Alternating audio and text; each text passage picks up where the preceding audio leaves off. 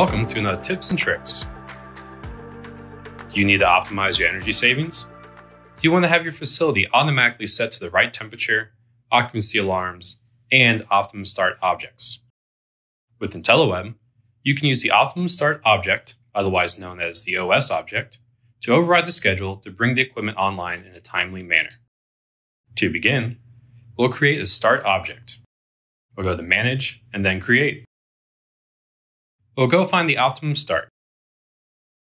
And we're going to call it AHU1. We'll hit the Create button. You'll notice the optimum start window has opened up. From here, we'll go down and fill in the blanks. We'll select Heating Start because that's what we're going to be calling this optimum start object. We'll put a target temperature in here of 72 degrees. Now we could assign this target temperature to an analog variable, in which case you could put that analog variable in this block.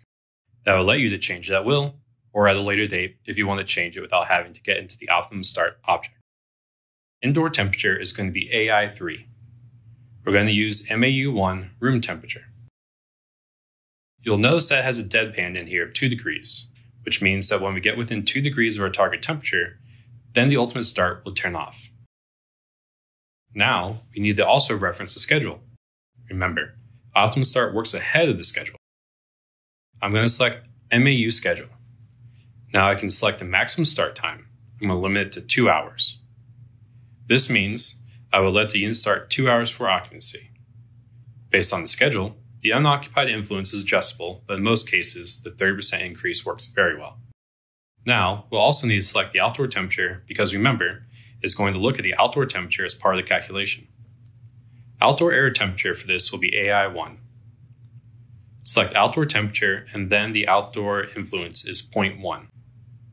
That is percent per hour divided by percent, or degrees outside air temperature. This is how you set up the optimum start for heating. Now we'll save it. Before we go, let's take a look at the top of the screen.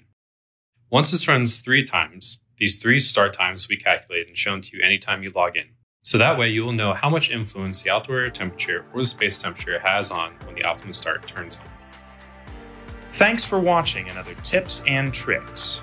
Please subscribe to our YouTube channel and click the notification bell to be notified when new videos are released.